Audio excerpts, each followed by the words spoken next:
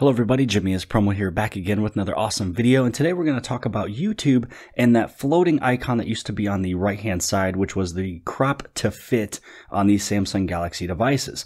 Now if you're to go on the very bottom you will always have that icon, that little square that will put this into the landscape or horizontal mode but it does not completely fit the full screen. So if I was to move over just a little bit you can see that there's a little bit of area down here that my navigation bar kind of comes in and out and this show the full screen on YouTube.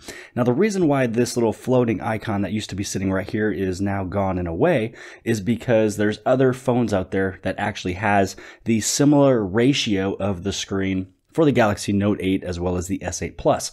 Now, this one is not really much of a fix video other than just letting you know the update and what they did and changed. So all you have to do now is a little pinch to zoom little feature. So you can see here as I pull out on the very left and also the right hand side, you can see that there is that little area that kind of fills in. So now you're able to use the full screen effect or the crop to fit on your YouTube videos. So all you have to do is at any point in time you're watching your video, do that little pinch to zoom right there. You can see that it is now zoomed to fill. And that's all you have to do now on YouTube.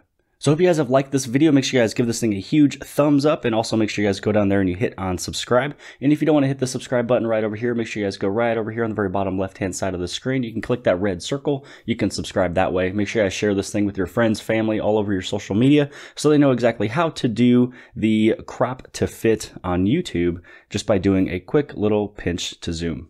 And I'll see you guys later.